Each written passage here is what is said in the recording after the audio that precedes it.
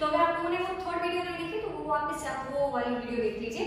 अब आज हम लोग बात करने वाले हैं, ये कौन सा कंटिन्यूएशन है? That is sources of recruitment internal sources हम लोगों ने ऑलरेडी डिस्कस कर लिए आज जो हम लोग डिस्कस करने वाले हैं, वो है एक्सटर्नल सोर्सेज एक्सटर्नल सोर्सेज की मेथड्स उसके एडवांटेजेस डिसएडवांटेजेस और साथ ही साथ एक और एक क्वेश्चन दैट इज़ ये कहाँ पे ज़्यादा सुटेबल है? एक्सटर्नल सोर्सेज जैसे कि नाम से ही पता चल जाता है एक्सटर्नल सोर्सेज मतलब क्या मतलब आप इंटरनली किसी को रिक्रूट नहीं कर रहे आप कहीं बाहर से लोगों को ला रहे हो आपकी ऑर्गेनाइजेशन में तो ये है एक्सटर्नल सोर्सेज अब एक्सटर्नल सोर्सेज के हम लोग देखने वाले हैं मेथड्स और यस अगर आप लोगों ने ये वीडियो को लाइक नहीं किया तो लाइक कीजिए शेयर कीजिए कमेंट में आपके डाउट्स लिख दीजिए तो हम लोग वहाँ पे आपको सॉल्व कर पाएँगे और दूसरी चीज़ सब्सक्राइब करना मत भूलिए स्टार्ट करते हैं मेथड्स ओके तो सबसे पहला मेथड आता है एडवर्टाइजमेंट एडवर्टाइजमेंट में जनरली ये लोग तभी एडवर्टाइज करते हैं जब उन लोगों को स्किल्ड वर्कर्स चाहिए, या तो हाईली क्वालिफाइड वर्कर्स चाहिए तो ये लोग एडवर्टाइज करते हैं। अब एडवर्टाइजमेंट कैसे करेंगे? तो इधर ये लोग न्यूज़पेपर थ्रू जाएँगे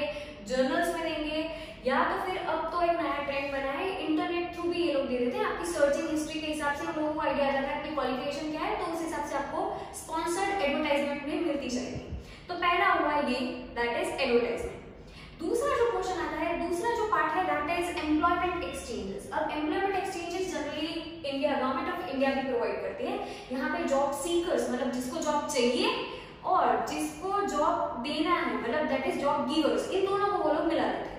तो यहाँ पे उन लोगों का बंधन ये लोग कर देते हैं. तो ये होता है एम्प्लॉयमेंट एक्सचेंज तो third school colleges and universities अब यहाँ पे लोग क्या करते हैं, जो बड़ी बड़ी ऑर्गेनाइजेशन होती है, उन लोगों को अगर प्रोफेशनल या टेक्निकल स्टाफ की ज़रूरत पड़ती है या तो न्यूबीज की ज़रूरत पड़ती है तो वो डायरेक्टली वहाँ पे कैंपस रिक्रूटमेंट कर लेते हैं। वहाँ पे जाके वहाँ पे अगर उनको परस्पेक्टिव या फिर ऐसा लगता है ये कैंडिडेट प्रॉपर है तो उसको वहाँ से ही ले लेते हैं।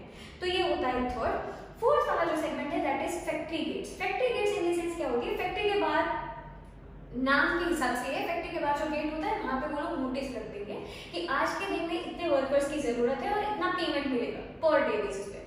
तो अगर जो भी लेबर वो अगर एरिया में रहते हैं तो वो लोग एक बार चेक कर लेंगे तो उनको ज़रूरत पड़ेगी तो वहाँ से वो लोग ले लेंगे। तो यहाँ पे सेमी स्किल्ड या तो अनस्किल्ड लेबर सबसे ज़्यादा जाएँगे।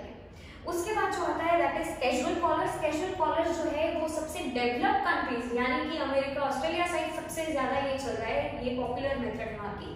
वो लोग क्या करते हैं कि अगर आज के दिन में कोई वीकेंड है या तो कोई एम्प्लॉय आज के दिन पे छुट्टी दे। तो वो लोग कैजुअली कॉल कर देंगे उसको कि आज के दिन पे अगर आपको इंटरेस्टेड है तो आप आ जाइए, आज आपको काम मिल जाएगा, या तो फिर आज आपके लिए ये काम है। तो अगर वो बंदा अगर फ्री होगा तो वो आ जाएगा, अगर वो नहीं है तो वो ना बोलेगा। तो ये है कैजुअल कॉलर्स उसके बाद आता है लेबर कॉन्ट्रैक्टर्स अब लेबर कॉन्ट्रैक्टर्स का मतलब क्या है ये ज़्यादा इंडिया में फ़ेमस है ब्रिक इंडस्ट्री में सबसे ज़्यादा देखने मिलती है। यहाँ पे अनस्किल्ड लेबरर्स जनरली होते हैं।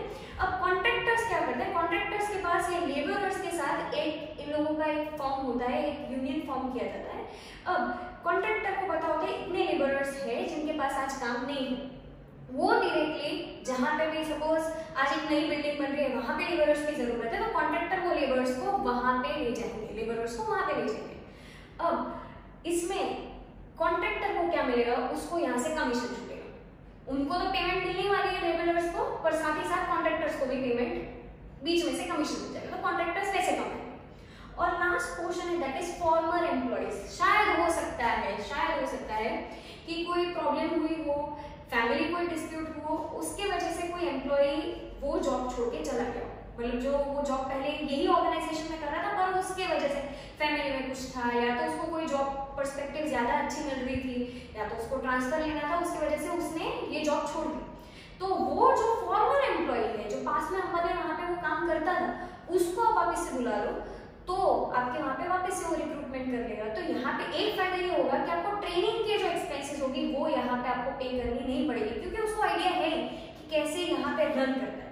तो टोटल हुए इतनी मेथड्स ये हुई एक्सटर्नल मेथड्स एक्सटर्नल सोर्सेज की मेथड्स अब देखने वाले हम लोग एडवांटेजेस और डिसएडवांटेजेस ओके अब देखते हैं एडवांटेजेस क्या है एक्सटर्नल सोर्सेज के और डिसएडवांटेजेस क्या है। एडवांटेजेस सबसे पहला एडवांटेज ये है कि यहाँ पे आपको सुटेबल पर्सन को ही जॉब मिलेगा।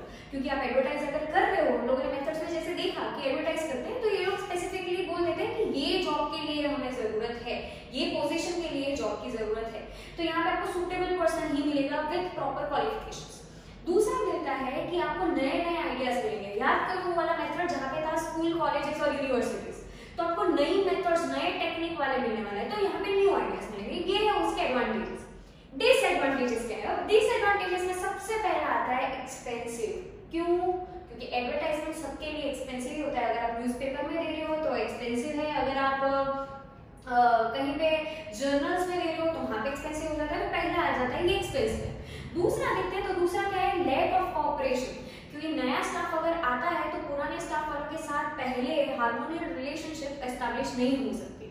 थोड़ा डिस्प्यूट्स रहेंगे, थोड़े डिस्प्यूट्स रहेंगे। तो इसके वजह से ये पहला दूसरा हुआ लैक ऑफ़ कॉपरेशन थर्ड वाला जो पोजीशन है, ये हो हो जाएगा डिस्करेजिंग दी फॉर्मर एम्प्लॉयज़ या तो डिस्करेजिंग दी प्रेजेंट एम्प्लॉयज़ अब प्रेजेंट एम्प्लॉयज़ को ये लोग क्या करेंगे कि वो जो पोजीशन के लिए वो लोग भी अप्लाई कर रहे होते हैं, पर हम उनको नहीं दे रहे हैं। क्यों? क्योंकि लैक ऑफ़ क्वालिफिकेशन अब जो पुराने वाले हैं, उनको हम नहीं दे रहे हैं। अब नए वाले आए तो उनको एक टाइप का ऐसा लगेगा कि अरे बाप रे, ये लोग आ गए हमें मिलना चाहिए था। हम तो इतने सालों से लॉयल थे कंपनी के लिए। तो एक टाइप का इन लोगों के बीच में थोड़ा मतभेद हो सकता है। तो ये है टोटल तीन पॉइंट्स जो एक्सटर्नल सोर्सेस के लिमिटेशंस है ओके अब देखते हैं ये मेथड एक्सटर्नल सोर्सेस कहाँ कहाँ पे सुटेबल है तो सबसे पहले वाला जो एक है सबसे पहला पॉइंट दैट इज़ वहाँ पे वो सुटेबल है, जहाँ पे आपको नई टेक्निक्स चाहिए, नए आइडियाज़ चाहिए, नई नॉलेज चाहिए, नए क्वालिफिकेशन चाहिए, ज़्यादा से ज़्यादा क्वालिफिकेशन चाहिए तो वहाँ पे ये सुटेबल है। दूसरी चीज़, ये कहीं पे, कहाँ पे यूजफुल रहेगी, जहाँ पे आपको मिनिमम पेजेस देने हो तो। जैसे फैक्ट्री गेट वाला हम लोगों ने देखा था कि गेट से अगर रिक्रूटमेंट करेगा तो कैजुअल कॉलर्स के लिए। तो वहाँ पे आपको मिनिमम पेमेंट में अच्छे से, ज़्यादा से ज़्यादा लोग मिल जाएँगे तो ये दूसरा ये हुआ थर्ड वाला जो है इसकी एग्जिस्टिंग एम्प्लॉयज़ को फ़ायदा क्या? अब एक फ़ायदा ये है कि जो नए वाले जो आए हैं न्यू पीस जो नया नया सीख के आए हैं, नए आइडियाज़ है, जिसके पास इम्प्रूव्ड मेथड्स है, कुछ भी टेकल करने का उन लोगों को आ रहा है तो वो लोग जो है, वो इन लोगों को नई नई चीज़ें दिखाएँगे, सिखाएँगे साथ ही साथ कि ये ऐसा होता है और ये लोग अपने एक्सपीरियंस इन लोगों को शेयर करेंगे। तो दोनों अगर साथ में काम करेंगे तो ऑर्गेनाइजेशन वैसे ही आगे बढ़ने वाली तो ये हुए उसकी तीसरी जगह पे, जहाँ पे ये सुटेबल है एक्सटर्नल सोर्सेज सबसे ज़्यादा सुटेबल है। अगर एग्जिस्टिंग एम्प्लॉयज़ को भी आपको मोटिवेट करना है, काम करो, ये लोग तो बहुत ज़्यादा काम करो इस हिसाब से ये है पूरा एक्सटर्नल सोर्सेज